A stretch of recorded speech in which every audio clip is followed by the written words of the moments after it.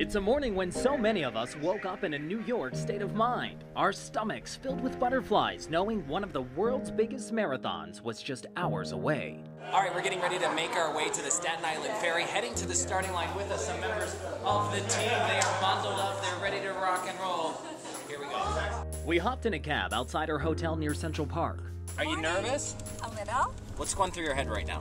Um, that I need to run 26.2 miles. Right, It's really not the 26 that's bad, it's that point two at the end that really gets you. All right. The journey to the start of the big race in Staten Island is like a marathon in itself for nearly 50,000 runners from around the world.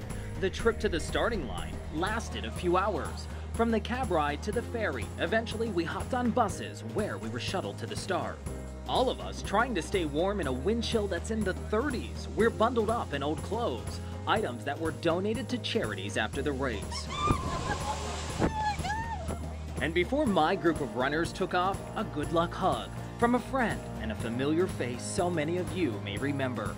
WNEP's former Pocono reporter, Regan Medji, who now works for the Weather Channel. Then, that marathon moment, months in the making. As we took off on our 26.2 mile journey across New York's five boroughs, the wind was relentless, at some points gusting up to 50 miles an hour. Regardless, our Ryan's Run team remembered why we were out here for those patients and allied like Kylie Doherty, Megan Mitchell, and Jake Olmstead. As we made our way toward the finish line in New York Central Park, millions cheered us on. Among them, well wishers from back home. Going, My morning photographer Corey Burns and I pushed on.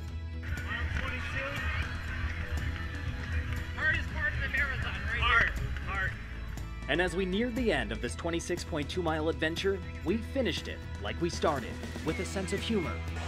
Point two to go. Point two. Point two. That's what it's all about right here, right at the finish. Thank goodness this isn't 27. I'd be out. No way. I'd be done. No way. Finally, Done, done. We finished. medals for WNEP's Ryan's Run team, but more important, a win for what this campaign is all about inspiring fitness, challenging disability, and changing the lives of kids and adults being helped by Allied Services. I'm Ryan Leckie, Newswatch 16.